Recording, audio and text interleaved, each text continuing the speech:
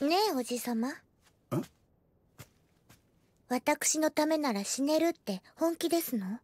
ああもちろんやね。わしで頼れることがあったらいつでも命投げ出しちゃるんねやおじさまひなみ沢の私のお家に来ません？え？おじさまに相談したいことがありますの